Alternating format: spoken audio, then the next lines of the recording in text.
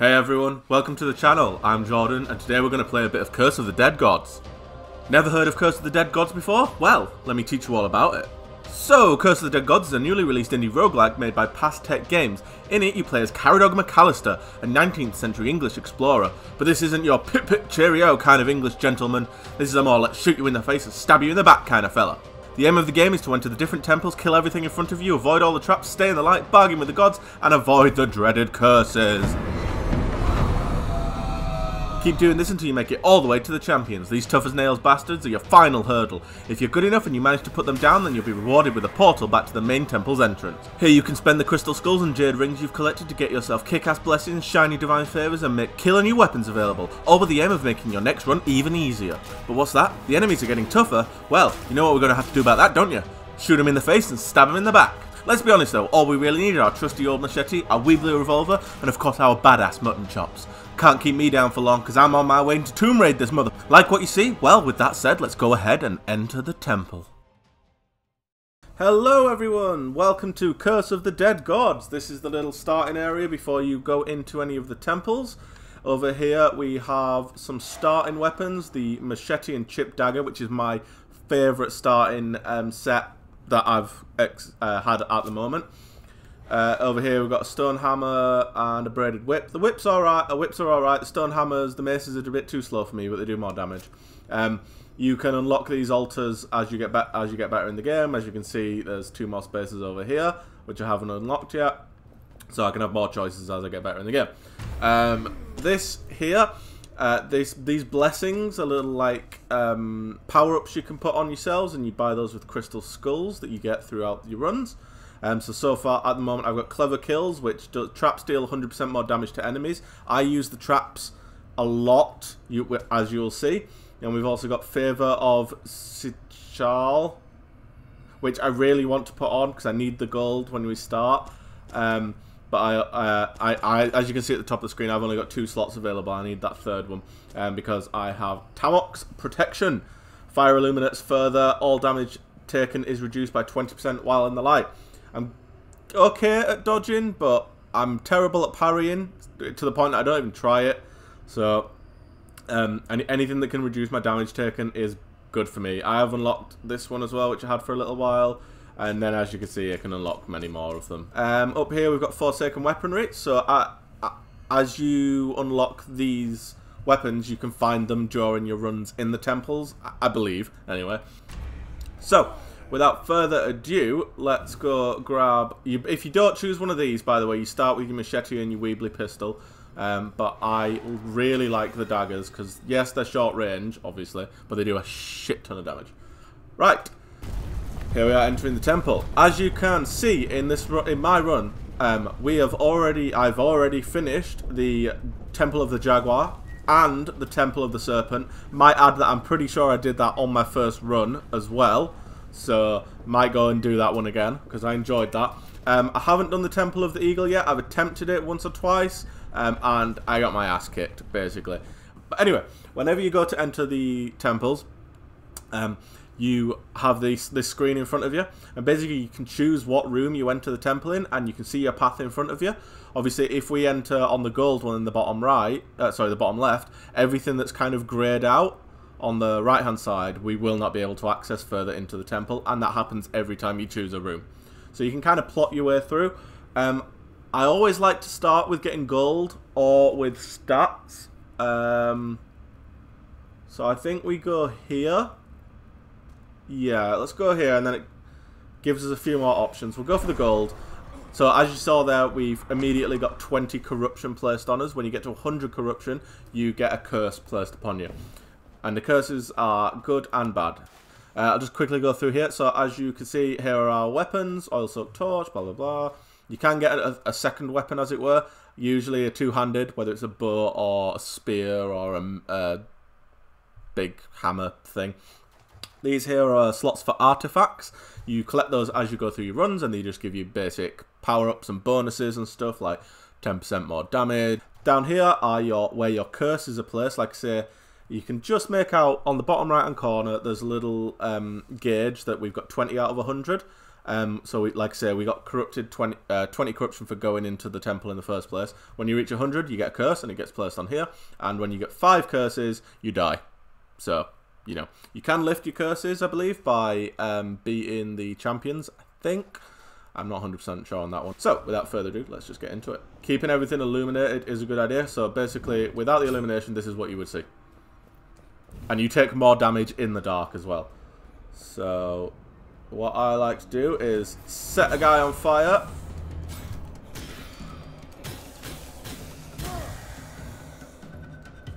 Damn, I missed him. Come on then, you snaky bastard. Yeah! There are traps, like I'm not going to set these things... Oh, maybe I will set them off. Oh! Sick! See what I mean? Like, that's what having that extra um, trap damage helps because I usually like to set the enemies on fire. Sometimes, by the way, when you are exploring the rooms like this, there are... Oh, look at all that gold. Beautiful gold. There are other bad guys that just haven't heard you fighting, so do be careful. But yeah, like that's why I've got that addition for the um, that extra bonus boost for the traps. Um, because I like to set them off. I used to I like to use my torch a lot when I'm fighting to help illuminate things.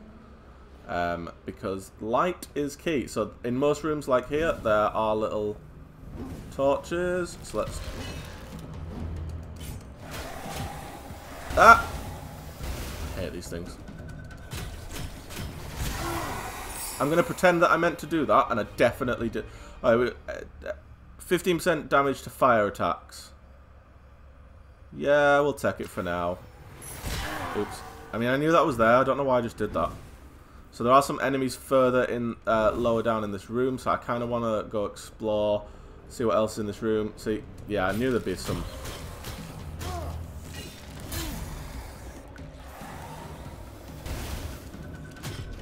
I hate these things. They poison you. Oh, but they also blow up and damage. So if you have played any roguelikes before, then you'll pretty much understand the uh, you know, the gist of this game. You get the, you know, so uh, we can. So this is where the problem is. We've got two different ways to go. We'll go this way.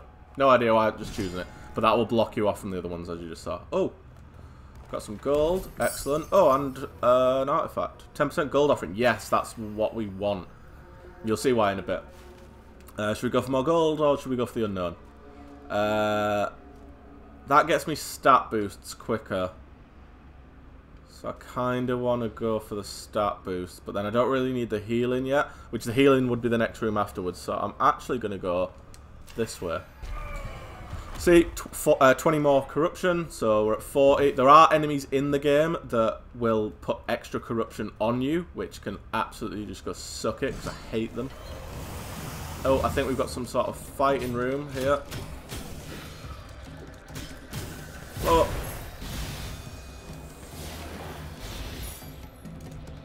Blow him up. Yeah! No! I got away from that.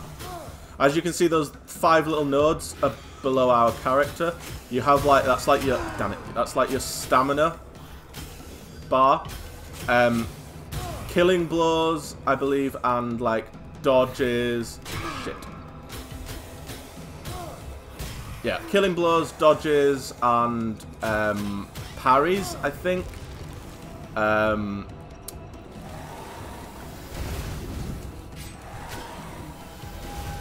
sorry, concentrating. it's a very fast-paced game, this.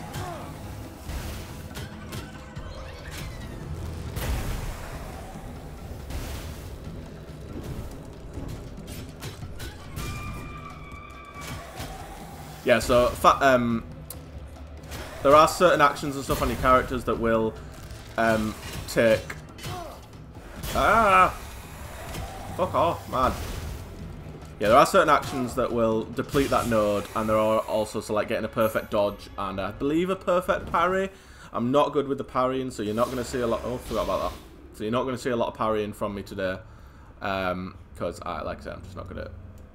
But they restore um, your nodes, I believe, stamina nodes. Uh, so what we got? So aha, so here's a little shrine that we can offer. We can either offer blood, which you can see underneath the icon at the top. Uh, that sort of the three squares in like a little upside down triangle. Um, that would add more corruption to us, but obviously the more corruption we give them, the better weapon we get. But you can also offer um, gold, and I could use a favour to reset these if I wasn't particularly happy with them. But to be honest, I'm actually really happy with... I'm not going to grab any of these. If there was a hammer, I'd probably use that because there are breakable walls and stuff, but I don't believe that... Um, just make sure there's no gold. No. I don't believe that spears can break the walls. I took more damage there than I was hoping. Let's go for a relic. If I can help it, I'm going to try and show you guys every room. I just want gold. Right, I can see a trap glowing on the wall. Screw you. you you're dodging. Like I say, you're dodging. I found that you're dodging is your is your friend in this game.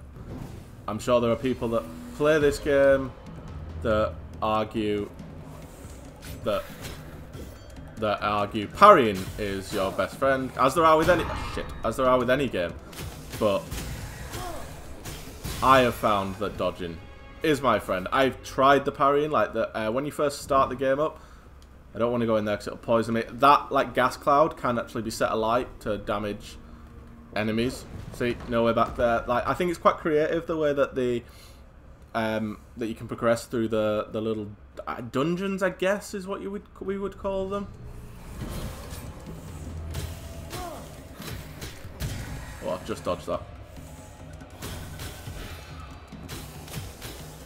See, I quite like...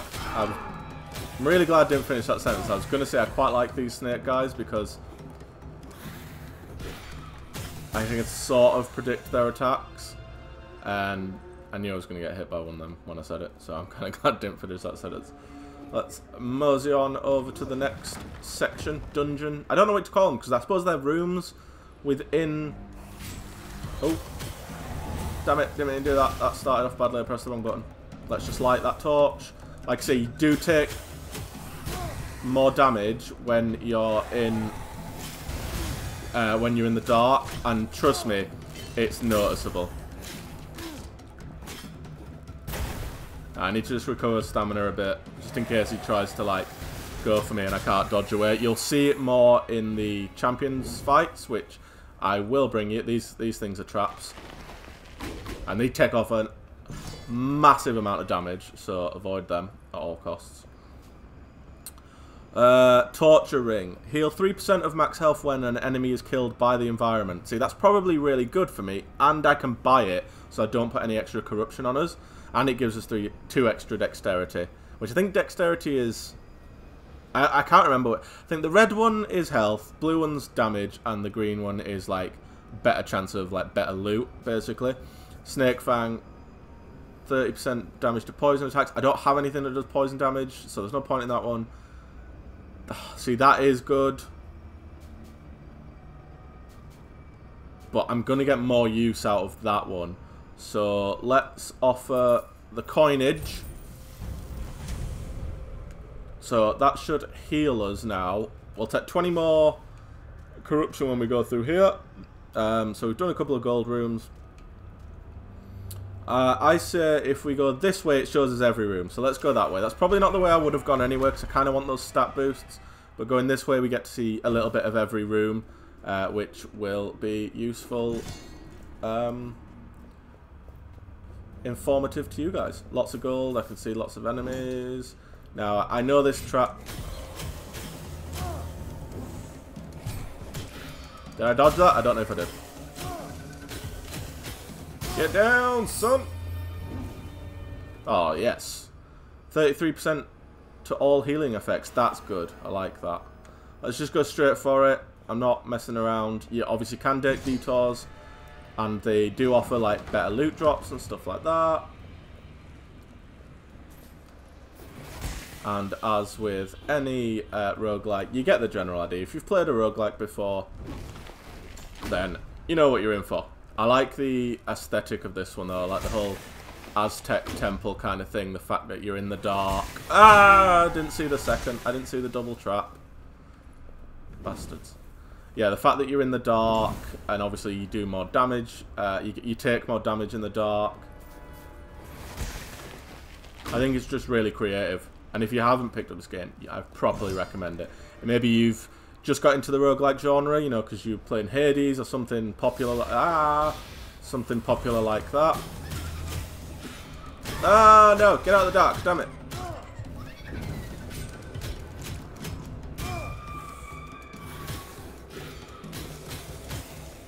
Uh oh See there, I wasn't keeping an eye on my stamina, and I...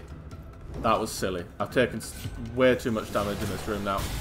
Oh, did I get away from that poison? I don't think I did. Shit. Obviously, as it says with the name, it keeps poisoning you. I mean, that's if you played a video game, any kind of video game. Oh, that's good as well.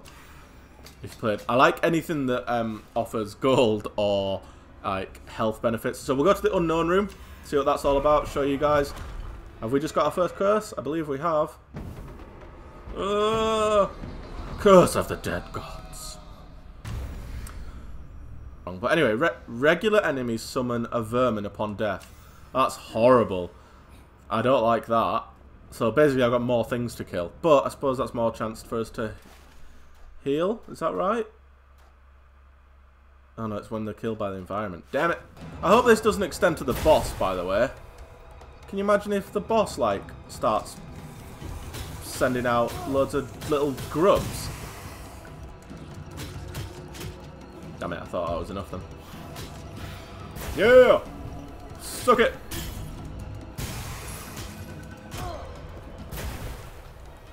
Oh, okay. I'm not painting myself in massive amounts of glory, but I am getting a lot of gold, which who doesn't like that dollar dollar? Bit of moolah. So we can go across there, or we can wander through here. I'm going to go across there, see what's here. There's no right way, there's no wrong way, from what I've seen. Oh, oh, there's a big guy. Come on, blow up, blow up, blow up, blow up, blow up. Yes.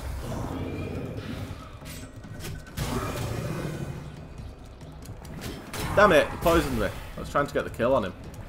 No! Oh, God, I'm not doing well on this one. Right, you. Oh, I didn't. I forgot that you were there. No!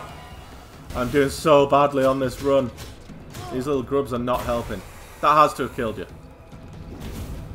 That did. I kind of want to show you the healing room. In fact, I'm going to show you the healing room because I also need to heal anyway. So that's worked out.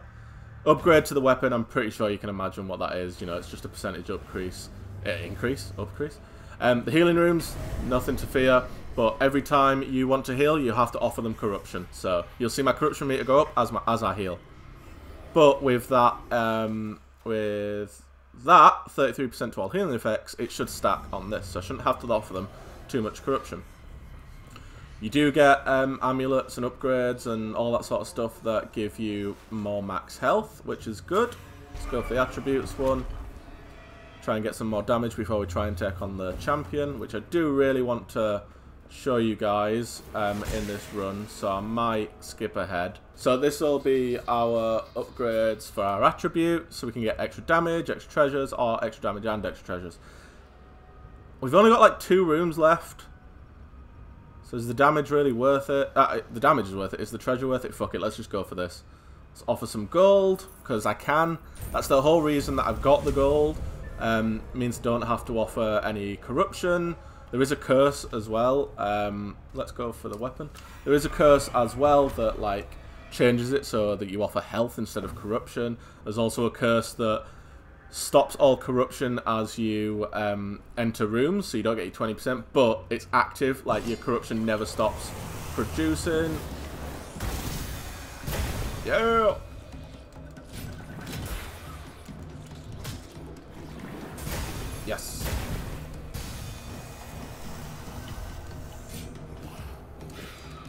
So, I think I haven't paid too much attention yet to whether... Uh, I want to kill this, so... Damn it. There we go. Blow him up. Beautiful. You're not beautiful. You're terrifying. Go away. I'm just using these group. Ah, no! Damn it.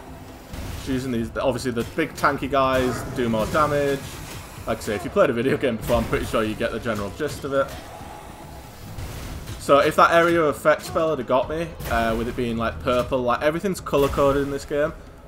Kill him with a dagger. Yeah. Oh no, I forget about the grubs every time. Everything's color coded, so like the green area effect gives you poison, the red one burns you, the purple one gives you corruption.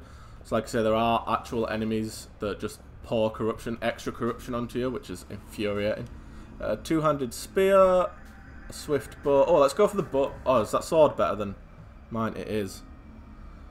Finishers cost no stamina. 20% of chance of inflicting lightning damage. Restore 1% of max health for each enemy killed. I'm going to have to go for that one, I think. But I could get that one without... If I go for that one, I get a curse. In fact, we're going through another door, so I'm going to get a curse anyway. Or I could give the gold and get that one. 30% damage against poisoned enemies. I can't poison them though. Damage whilst in the darkness. That does a lot more. I'm going to go for that one. Look, we're going to take another curse, which sucks, but we would have taken one for going through the door anyway. And there's our old weapon. So we should have a more boss weapon now, and we are heading for Le Champion. The Campione. Dark Mysteries. Other curses are unknown as long as this one is not lifted. Does that just mean that I can't tell what my other curses are? Like if I go, go on here, will it just not tell me? Okay, so that's, that's not too bad. There are, I've had much worse. Right, come on then. You horrible beastie. I hate her. I've just realised, like, which, which one she was she does an attack. Oh, that was close. I'm not going This is. I'm warning you now. This is not going to be. Um, there's no. There's not going to be any finesse in this at all. Damn it! Oh my god, that was horrible. Ah! Jesus. Oh my god. So when I beat her the first time, it was simply I just outlasted her in terms of life. And I feel like that's my tactic for this one. Ah! Damn it. So I've, I think I've already taken enough corruption in this fight to give us another curse anyway. Oh my god. Right, there's no skill to this. I'm just going to wail on her until we hopefully outlast her. Ah, can we do it? Oh my god. I've definitely taken enough corruption now to give me... I've definitely taken enough corruption now to just... Oh my god. I'm not going to do this. I've got 8 health left. No! Well, look, that was my own fault for not going into that with a strategy. That was being stupid then. 944 she did to me. Sorry. Zukat the Witch. If we'd have beaten her, we'd have gotten a shitload of crystal skulls and a load of jade rings. It's really annoying that we didn't. Um, but that's a roguelike for you. So, as you see, we just go back to the start, as it were. Yeah, we know about curses. I've explained it. What have we got here? So this time we got blunt claws and a chip dagger. That's not bad. I don't mind the claws, actually. Um, throwing knives and a worn shield. Probably the worst combination for me, seeing as how I don't parry. Um, but anyway, as you can see, it, it refreshes it every time uh, that you get brought back. It's a shame that we couldn't be... Um, I've already forgotten the name. The Witch. Zukat the Witch. But, hey you get the general idea. So that was me playing a little bit of Curse of the Dead Gods. Uh, I hope I've managed to explain everything to you and showed you how fun it is. Um, there are quite a few unique mechanics in this that set it apart from other roguelikes. Obviously, that obviously the roguelike genre has exploded with the popularity of Hades, so if you are looking for other titles, then I would totally recommend this one for you. Um, if you do want to pick it up, then if you go down below, I'll link the Steam page in the description below. But anyway, if you've enjoyed it, then please like and subscribe. Um, I will like. I'm going to be bringing you more and more different kinds of indie games over the coming months, as that's what I want to focus on on this channel. So, thank you very much for watching, take care, and until next time, Goodbye.